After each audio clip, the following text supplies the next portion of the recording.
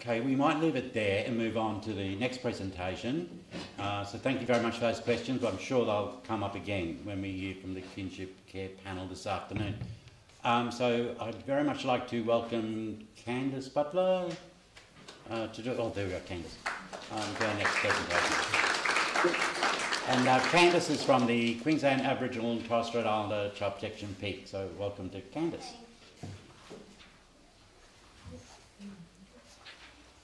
Thank you, everybody. Good morning. Um, I hope you're all well. Um, we're very fortunate to be in Queensland and to all be able to come together and you know have a yarn about you know that importance of kinship care and why why it is so um, not only important but why it is something that you know can really touch our hearts as Aboriginal and Torres Strait Islander people. Um, so, as Lindsay said, my name is Candice Butler and I am the Director of Innovation and Practice Development with QATSIP, so the Queensland Aboriginal and Torres Strait Islander Child Protection Peak. I just had a laugh before about Lindsay saying about acronyms. We do say QATSIP, but then, you know, some days we'll shorten it to even CPP. Um, so, you know, it's just really mindful of acronyms. Um, so today I am going to speak to um, the process of the development of a family caring for family model. Um, and just talk you through, you know, the importance of that model, how we developed that model, and also, you know, some of the key things that we're hearing from our Aboriginal and Torres Strait Islander community control sector. Thanks, Tom. Um, so I acknowledge the traditional custodians whose lands we walk, talk, and do business. I acknowledge and pay respects to the many elders, past and present, who have tirelessly paved the way for me, guided me, and given me strength to draw on knowledge, systems of growing up children, and their connection to family, community, country, and culture. So, who am I? I said at the start, my name is Candice but I'm also a very proud Aboriginal woman with strong links to Yarrabah in far north Queensland. So shout out to anyone who's online um, joining us from far north Queensland. I am a bit biased to that area, so I'm just going to say that up front. Um, and you know, I'm very very fortunate to um, have such a strong culture, but also a strong family um, around me. I just chose to use this um, statement on this slide because I know 100% that my team at QATSIP and the entire QATSIP um, team and membership, you know, we can safely say that we ensure that at all times self determination is at the forefront of the work that we do. We always sit, we always listen, and we always make sure that we feed back and make sure that the voice of our community and our sector is genuinely being heard. Thanks, Tom. Um, so a little bit about QATSIP for those in the room who don't really know much about us. We um, do a lot of promotion and advocacy for the rights, safety and well-being of Aboriginal and Torres Strait Islander children, young people, communities and their families. And we do this through um, the provision of training, of policy development, of program development, and also working alongside our um, departmental colleagues to really push for those changes that you know that are needed for um, our for our mob.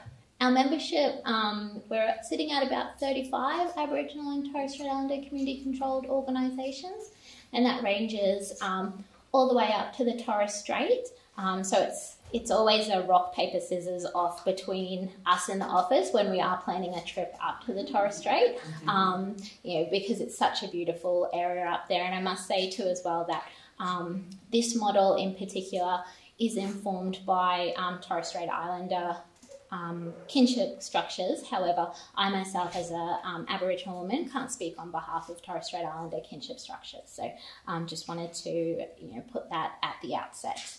Um, yeah, we just want to ensure at all times that everyone feels respected and is given and have access to culturally safe and secure service provisions.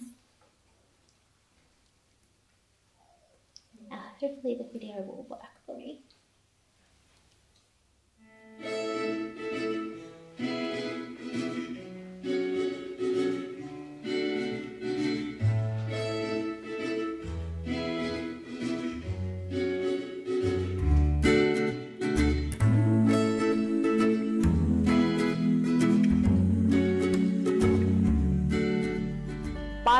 My name Olivia Arling. I'm 14 years old from Torres Island. Islands.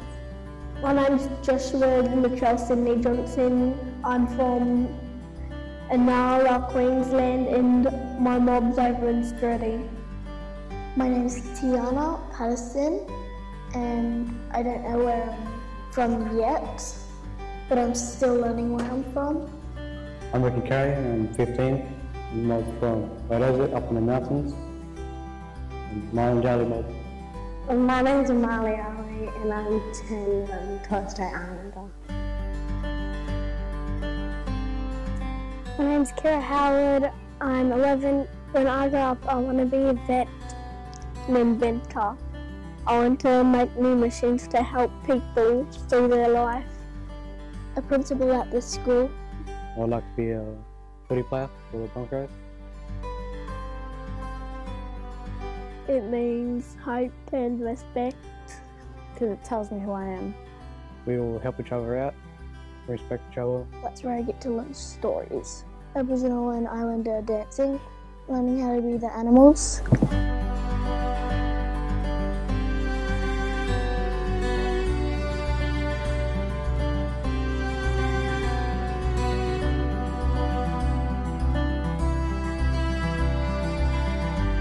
We wanted our kids to gel together. We wanted our children to know who they were, who their families were, and who they were related to. You can face anything if you know who you are, you know. Because they know more than what, what I do. And I'm still yet learning from them. Like culture and respect. To respect them because they teach you where to go and not to go, and they tell you new things, dreams, time stories. More knowledge to learn about to give to us younger generations. To get respect, you need to give it to people. They're nice, they take me out places, and um, they care. I feel secure and happy. I feel safe when I'm at home, when I'm happy and calm. I feel protected. When I feel safe, I feel happy and protected. Being happy together. My pops, my nans, and yeah, um, they take me places, they care for me, and we have lots of fun together. Family, friends. Yeah. I feel safe at home and school. I feel comfortable and I know that there's people looking after me. People who make me smile. People who I care about. Like my family.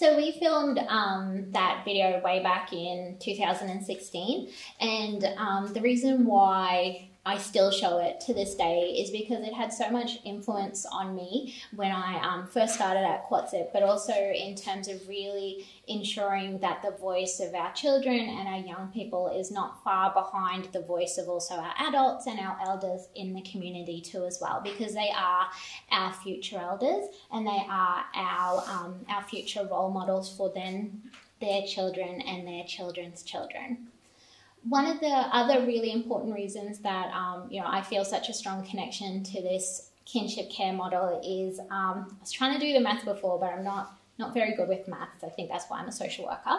Um, but you know, my um, my cousins we range in age from um, one who's yeah, a year older than my mum, so 59, and our youngest is 16. So, um, with the exception of about four of us in that um, that line, you know, um, probably about four or five of us that haven't had children, but those that have, I know 100% lean on, you know, all of us to help in some way to grow their children, to ensure that their children are connected to kin, to ensure that they know who we are when we're stepping foot into Yarrabah and who, um, why we have such strong connections. And I suppose that was one of the main reasons why, you know, I really wanted to sit with, sit with my membership, sit with my colleagues who, um, you know, do the day to day work of Aboriginal and Torres Strait Islander kinship care to really hear from them. You know, we have a really, um, really fantastic opportunity to really change the way kinship care and um, specifically for Aboriginal and Torres Strait Islander children is um, is delivered here in Queensland. So, um, bit of background to to the model is that you know we were very fortunate with the Family Matters forum where that video was showed that we did develop the Our Way a generational strategy for Aboriginal and Torres Strait Islander children and families. We've had a lot of um, support from our Queensland First Children and Families Board, who are a group of um, really well respected Aboriginal and Torres Strait Islander community um, members. And um, so they've really assisted in developing this model. And also, um, prior to that, we had a Aboriginal kinship care position statement where we sat with our membership and we said, because we do have such an opportunity to develop something that is really innovative, let's have a think. You know, do we wanna um, do we wanna work with what we currently have? Um, do we want to, you know, that was option one. Option two was, you know, do we work 50-50? So we work, you know, with what we what we currently have and, you know, being a bit innovative. And our final option was have the opportunity to really be innovative, really have a discussion about, you know, ways forward for Aboriginal and Torres Strait Islander kinship care. And um, not surprisingly, um, we all, you know, agreed that it's a real opportunity for us to be innovative and for us to, you know, really, you know, unpack the system and be, you know, this is this is what um, it's also what we do best, I, I would like to say, um, as Aboriginal and Torres Strait Islander people, in terms of, you know, that we know who our mob are, we know who, um, you know, and you think about safety, we know who the safe people are within our families, and we know, you know, it's sometimes it's unspoken, but we know those, um, we know about that importance of safety and risk to our young people. So that's kind of how um, the background was um, came about for this paper. So as I said, you know, in, it's really important for me to really emphasize that this model is not a QATSIP product. It's actually a product that's come from the sector, developed by the sector. So it's something that you know we really um, that I made sure I really listened to and um, to to develop um, alongside them this model. So it really does look at a new approach for Aboriginal and Torres Strait Islander um, kinship care within Queensland. It's really about that importance of children being raised by family in community with connections to family, culture, and country. It's also about recognising that really important fact that you know the cultural authority for our children lies with with us as Aboriginal and Torres Strait Islander people. We, um, you know, I would never um, impose my cultural authority onto another Aboriginal and or Torres Strait Islander person because that's not my space. But when it comes to my family, I know that there is expectations and very high expectations, um, you know, that I have that um, cultural authority and that I am speaking my truth at all times. Um, it, it helps. This program also looks at not only um, children that are subject to um, you know child protection orders, but we're really trying to look at a way in the in the future about how we can embed this program for for our families who are putting their hands up and um, you know being kin, stepping forward and being kin carers. Just take a little bit of step back. I don't think I um, you know said it at the beginning.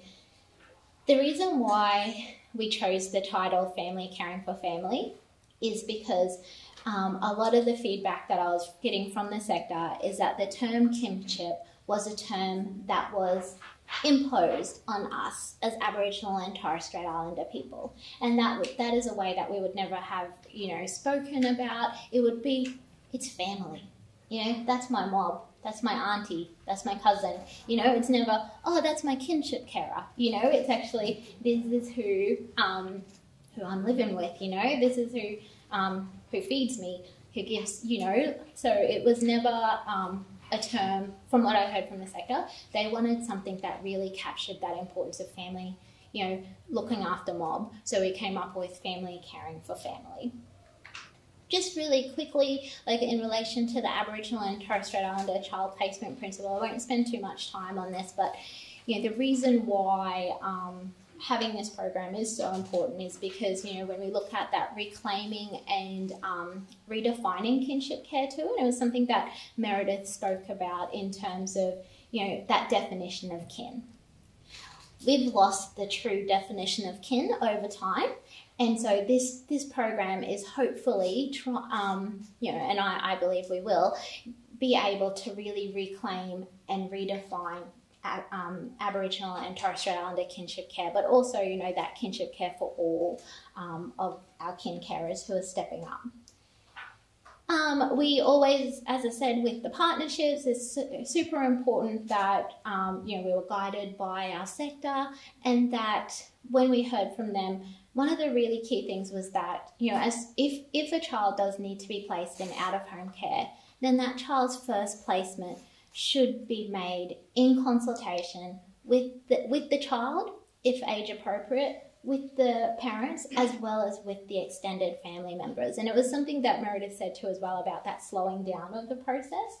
You know, we really should be taking our time to identify those family members, to identify, um, you know, who, who is coming forward and who is um, caring for, um, putting their hands up to care for our, um, for our little littlies.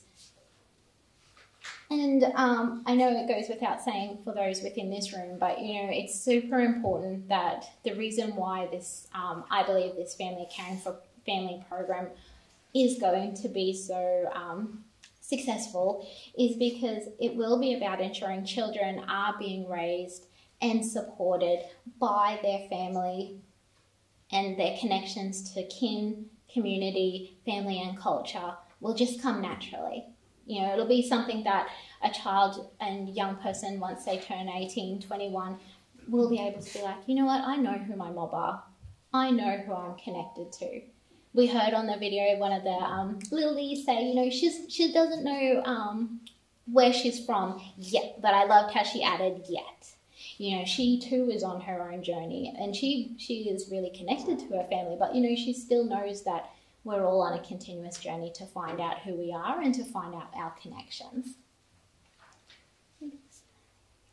Um, so one of the um, really important things about this model is that they, the model does allow for it to be adapted to the local context. So um, you know, there's no you know, you must do this, you must do that. It actually allows it to be really flexible and to be delivered in a way that does meet the needs of um, individual uh, Aboriginal and Torres Strait Islander families too. It's really important that these services are designed and delivered by um, the local Aboriginal and Torres Strait Islander community controlled organisations, but as well as having those really key people in the room too as well to have those discussions about okay, well what what does this look like? What, how can we ensure that our um, our families are getting the correct support that they need? And what is it? Like you know some may just may need a bigger car. Some may need you know uh, um, access to mattresses. Some may need more intensive support but it's just allowing that to to happen. Um,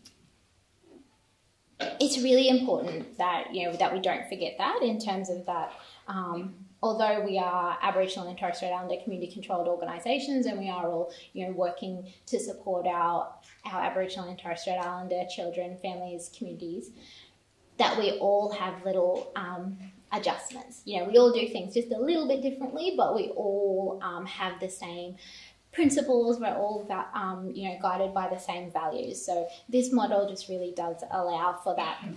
As the slide suggests, you know, that adjustments for local context. So these are, I'm not sure if um, you can see the slide very well. Um, obviously I love a good diagram and I love colour. Um, so, you know, I'm sure I'm more than happy for these slides to be provided to everyone um, at the end of the day. The overview of the program, some, these were four key phases that we heard really strongly. So it was about that importance of allowing the, whether it be the Aboriginal and Torres Strait Islander community controlled organisation that has is in receipt of the funding for um, foster and kinship care, or it's even working alongside the family participation program to really do that really genuine finding and mapping of a child's extended family.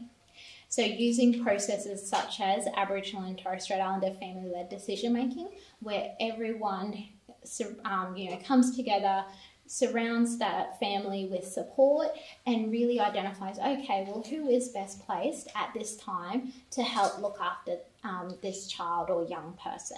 What do we need to support this to be a um, you know a, a, stable placement for this um, child and young person the next phase is really, really about um, assessing and matching. So not just not just um, assessing, you know, the kin carer, but also assessing. Well, what is it that that actually this family does need to support this child? You know what is it you know what can we what can we provide as a service but also what what do we need to outsource? You know what who else do we need to bring along? You know is it a family well-being service? Is it a um, you know intensive family support service? You know who else needs to be around and um, involved in with this young person or child the third one I, I touched on just um, you know a couple of minutes ago, but really ensuring that we're setting up our families for um, you know for success, and also ensuring that not only setting them up for success, but setting them up to ensure that our children and young people are getting the best of what they um, you know what they deserve. So it's about um, you know making sure that there is that tailored casework available within this model, um, making sure that we do have those wraparound supports for um, children and family members.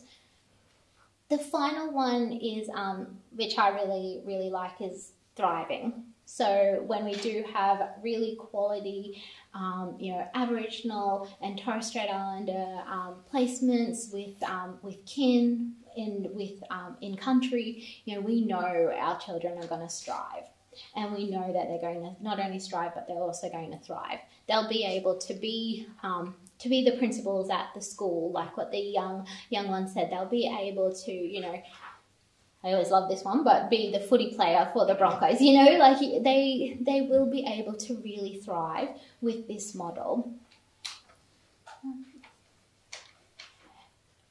As I um, touched on earlier, I could not have done this without the support and um, expertise of my Aboriginal and Torres Strait Islander community controlled organisations. I also couldn't have done it without the um, support and guidance of um, Paul Testro and also Tracy Smith too as well, who really helped me to um, to you know put all these fantastic words into what what this model could look like. Um, it really was about co-design. I don't use that word lightly. It was really, you know, well, what is it? You know, what should this model look like? What, how can we adapt it to be delivered in the local context? We also need to ensure that there, um, you know, there is that ability for interface with other programs. So with programs like the Family Wellbeing Services, like our Intensive Family Support Services, um, like our Family Participation Program, that those, um, you know, that there's those clear um, links and opportunities for um, quality casework too as well.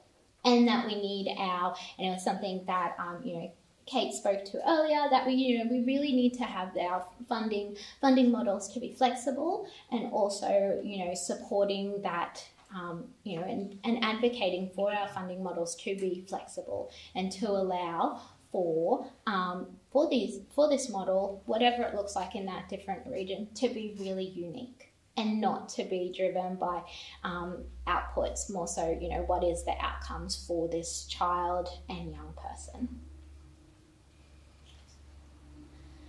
think just um, kind of in in closing, the one of the really key things that we're finding with a number of the projects that we've had the um, privilege with being involved in at QATSIP is just this importance of evaluation. And I know um, you know it's a it's a it can be a contentious um, topic, but we do need to ensure that we are like really looking at you know, why are these programs working? Why why is it that you know our um, Aboriginal and Torres Strait Islander community control organisations do a really deadly job? You know, like so we really need to be ensuring that as part of this model too as well, we're evaluating. And I use the action research cycle of you know planning, acting, observing, reflecting, and it's something. Um, and you know, I said earlier, evaluation has all different um, terms, but it's actually something that good casework involves too as well. Good casework involves planning. Good casework involves action. It involves observing, and it involves reflecting. So if we can, um, you know, just ensure that that's happening at all times, then that would be um, really fantastic. So that that's the model in a in in 20 minutes. any any questions or? Uh, yeah, if there's any questions on the floor, we will ask you to hold the mic this time because um, it will help people at home in their offices to hear if you're holding the mic and not down there, up there. Don't be shy. So, any questions from the floor? I'm not sure it's it's, it's kind of about all of this, but I think what we need to do is I work residential care, um, and when we have reintegration with kin, it all falls down there because we're talking about it needing to be slow and steady, but when we identify a placement that is a suitable kin, the pressure is on to get that young person out. So it really tends to fall over because instead of doing it, and obviously can't do it so slow that the kid gets, the, the young person gets distressed about that. But it has to be um, where we can bring them into the house, we can take them out, they can do sleepovers, it can be more of a staggered. And then um, what we often try and do is offer outreach to the families as well, which kind of often gets quite knocked, knocked back from the department. So what we can say is, as a provider you may have had these little people for two years and we know them, we can actually come and provide you over the next couple of months outreach support. So we can come at that time when we know things are busy, we can come and we can take young people out. So it's really good having all of these models, but what we need to do is look at that transition from residential care really carefully um, to make sure it doesn't fall over there. Mm-hmm. Yeah, absolutely. Great point. And I, um, you know, I think back to I had the privilege of working out in Alice Springs, um, you know, as a child protection practitioner out there, and that was one of the really um, key key things that did help us, um, you know, ensure that the um, that the placement didn't didn't fail. Um, you know, it was about having, um, you know, graduated returns back to country. You know, like um, ensuring that that family felt supported, ensuring that the children felt, you know, felt supported too as well, and that their needs were being really, um, really thought about too as well. Um, so yeah, absolutely, completely agree with you, and it was um, something that you know did come through these um, consultations was that importance of we need to also work alongside the family to do these, um, you know for lack of a better word, those graduated returns. Otherwise, it'll, yeah, it's just like it's it's not going to be helpful for anyone if we just yeah pick up that sweet, you know, like now they're you know with family, that's awesome. But no, we really do need to do that work and um, you know work alongside family and and the services who have also built a relationship and a rapport with the children and young people too as well. I think that's really important to acknowledge that relationship that you know um, children do can can have with their caseworkers.